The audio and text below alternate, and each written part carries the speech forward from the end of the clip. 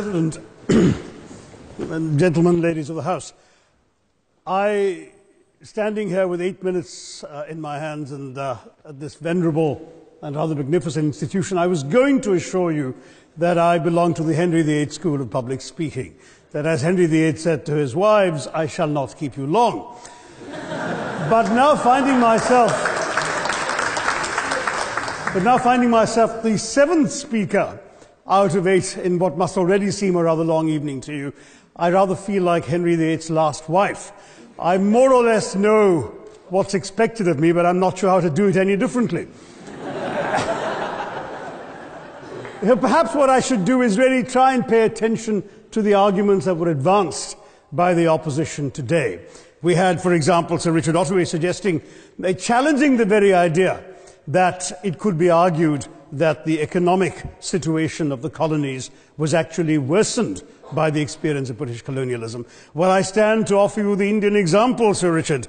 India's share of the world economy when Britain arrived on its shores was 23 percent.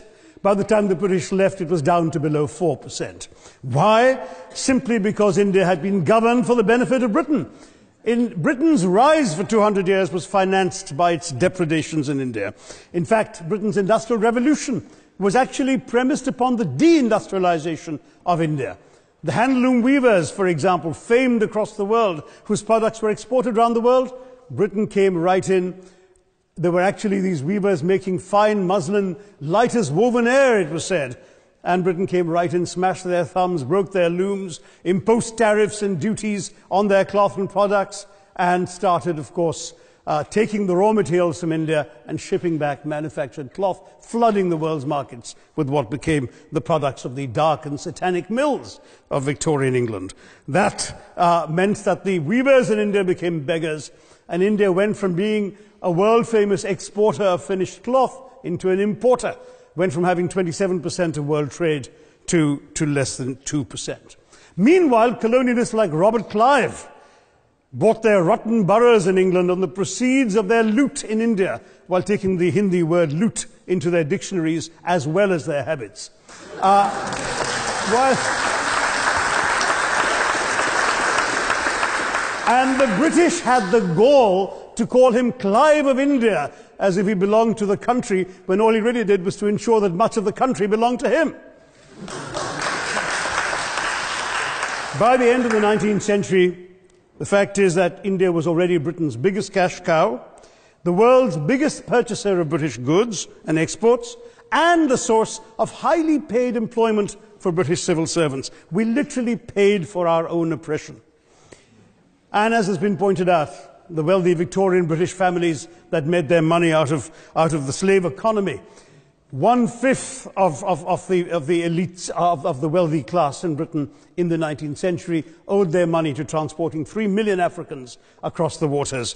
And in fact, in 1833, when slavery was abolished, what happened was that a compensation of 20 million pounds was paid, not as reparations to those who had lost their lives or, or who had suffered or been oppressed by slavery, but to those who had lost their property.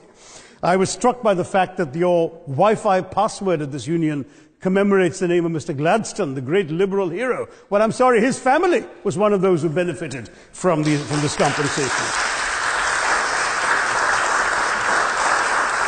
Staying with India, between 15 and 29 million Indians died of starvation in British induced famines. The most famous example, of course, was the Great Bengal famine during the Second World War, when 4 million people died because Winston Churchill deliberately, as a matter of written minuted policy, proceeded to divert essential supplies from civilians in Bengal to sturdy Tommies and Europeans uh, as reserve stockpiles. He said that the starvation of anyway underfed, underfed Bengalis mattered much less than that of sturdy Greeks. This is uh, Churchill's actual quote. And when conscience stricken British officials wrote to him, pointing out that people were dying because of of this decision, he peevishly wrote in the margins of the file, Why hasn't Gandhi died yet?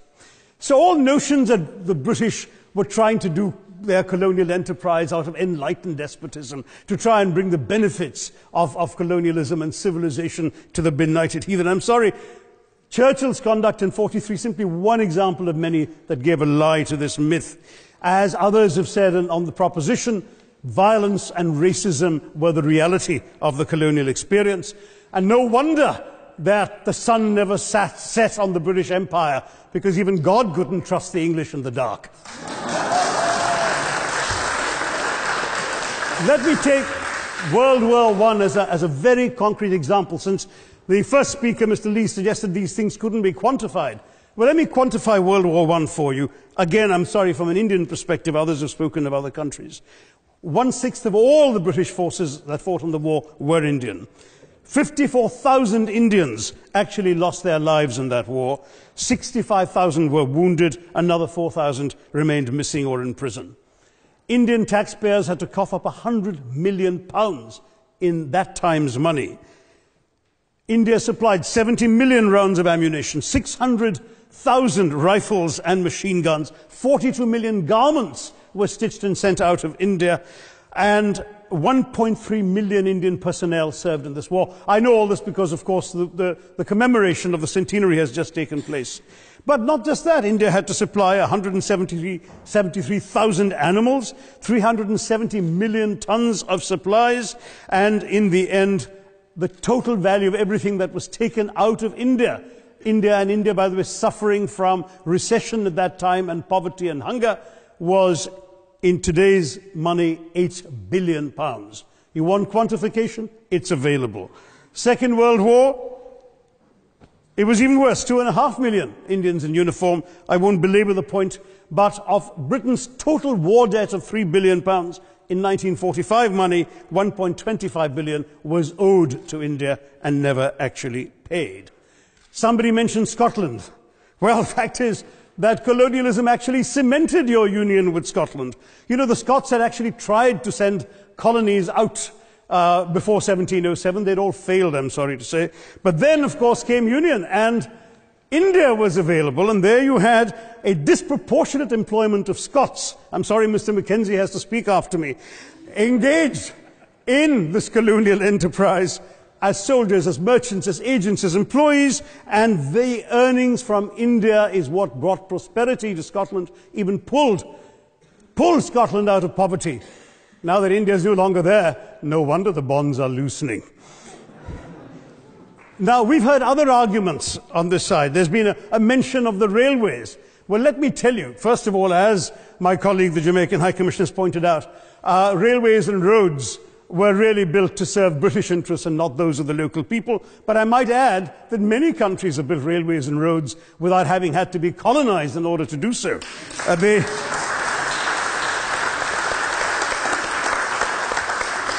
they were designed to carry raw materials from the hinterland into the ports to be shipped to Britain.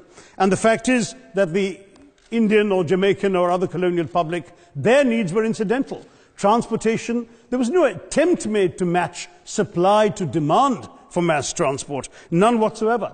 Instead, in fact, the Indian railways were built with massive incentives offered by Britain to British investors, guaranteed out of Indian taxes paid by Indians, with the result that you actually had one mile of Indian railway costing twice what it cost to build the same mile in Canada or Australia because there was so much money being paid in extravagant returns. Britain made all the profits, controlled the technology, supplied all the equipment, and absolutely all these benefits came as private enterprise, British private enterprise, at public risk, Indian public risk.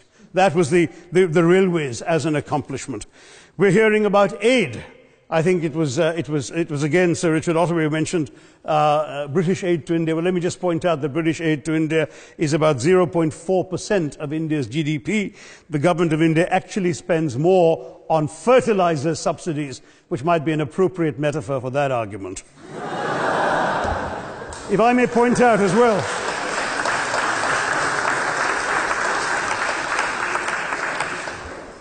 If I may point out as well that um, that as my fellow speakers from the proposition have pointed out, there have been incidents of racial violence, of loot, of massacres, of bloodshed, of transportation, in India's case, even of one of our, our last Mughal emperor. Yes, maybe today's Britons are not responsible for some of these depredations, but the same speakers have pointed with pride to their foreign aid. You're not responsible for the people starving in Somalia, but you give them aid. Surely the principle of reparations for what is for the wrongs that have been done cannot be denied. It's been pointed out, for example, the dehumanization of Africans in the Caribbean, the massive psychological damage that has been done, the undermining of social traditions, of property rights, of, of the authority structures of these societies, all in the interests of, of, of British colonialism. And the fact remains that many of today's problems in these countries, including the persistence, in some cases the creation of racial and ethnic and religious tensions, were the direct result of the colonial experience. So there is a moral debt that needs to be paid. Someone challenged uh, reparations elsewhere. Well, I'm sorry, Germany doesn't just give reparations to Israel. It also gave reparations to Poland. Perhaps some of the speakers here are too young to remember the dramatic picture of Chancellor Willy Brandt on his knees in the Warsaw Ghetto in 1970. And there are other examples. There is uh, Italy's reparations to Libya. There's Japan's to Korea. Even Britain has paid reparations to the New Zealand Maoris. So it's not as if this is something unprecedented or unheard of that's going to somehow open some sort of nasty Pandora's box. No wonder Professor Louis reminded us that he's from Texas. There's a wonderful expression in Texas that summarizes the arguments of the opposition all hat and no cattle. now, if I can just quickly look through the other uh, notes I was scribbling while they were speaking, there was reference to democracy and rule of law. Let me say with the greatest possible respect, you can, it's a bit rich to oppress, enslave, kill, torture, maim people for 200 years and then celebrate the fact that they're democratic at the end of it. we,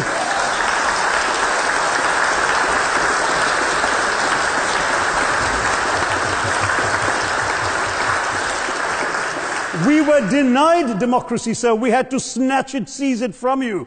With the greatest reluctance, it was conceded in India's case after 150 years of British rule, and that too with limited franchise. Yes, indeed, ma'am. The opposition spoke quite highly of Greek and Athenian democracy on which the West should pride itself, and spoke of liberty and equality in that same name. The Athenian democracy was only functioning because of the slave society on which it was built. That's the nature of colonisation.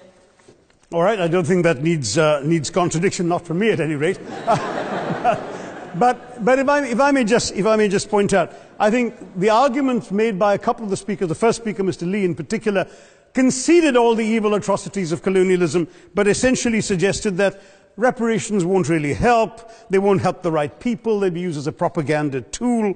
They'll embolden people like Mr. Mugabe. It's always nice how in the old days, you know, uh, I'm sorry to say that uh, the, the people of the Caribbean used to frighten their children into behaving and sleeping by saying Sir Francis Drake would come after them. That was a legacy of that. Of that. Now, now it's Mugabe will be there. So this is the, the new sort of Sir Francis Drake of our times. The fact is, the fact is very simply, sir, that we are not talking about reparations as a tool to empower anybody. They're a tool for you to atone for the wrongs that have been done. And I, I am quite prepared to accept the proposition that you can't evaluate, put, a, put a, a, monetary sum on the kinds of horrors people have suffered. Certainly no amount of money can expiate the loss of a loved one, as, as somebody pointed out there. Uh, you're not going to be able to figure out an exact amount. But the principle is what matters. The fact is that to speak blithely of sacrifices on both sides, uh, as an analogy was used here, a burglar comes into your house ransacks the place, stubs his toe, and you say, well, he, there was a sacrifice on both sides, that, I'm sorry to say, is not an acceptable, is not an acceptable argument. Um, the truth is that um, we are not arguing specifically that vast sums of money need to be paid. The proposition before this House is the principle of owing reparations, not the fine points of how much is owed, to whom it should be paid. The question is, is there a debt? Does Britain owe reparations? As far as I'm concerned, the ability to acknowledge a wrong that has been done, to simply say sorry, will go a far, far, far longer way than some percentage of GDP in, in, in, form, in the form of, of, of aid. What is required, it seems to me, is accepting the principle that reparations are owed. Personally, I'd be quite happy if it was one pound a year for the next 200 years after the last 200 years of Britain and India. Thank you very much, Madam President.